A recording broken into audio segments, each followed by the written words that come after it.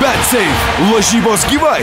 Buvo apylygė kova, žaidė panašaus pajėgumo komandos ir aš manau, kad 0-0 tai dėsningas rezultatas.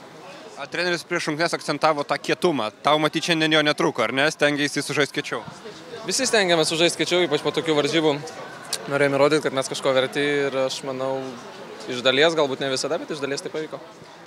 Teisėjas leido šiandien žaisti kiečiau, na, nes kelis kartus žaidė kiečiau, tai įspėjo, bet ne, nebuvo baimės tą gauti antrą tą geltoną kortelę. Teisėjas pametė varžybas, jisai nuo pat pirmų minučių pradėjo mus stabdyti, aš nežinau, ar jisai žinojo, kad mes norim kietai žaisti, bet mes žaidėm kietai, o ne grubiai, tai čia yra labai didelis skirtumas, bet jisai pametė varžybas nuo pat pirmų minučių.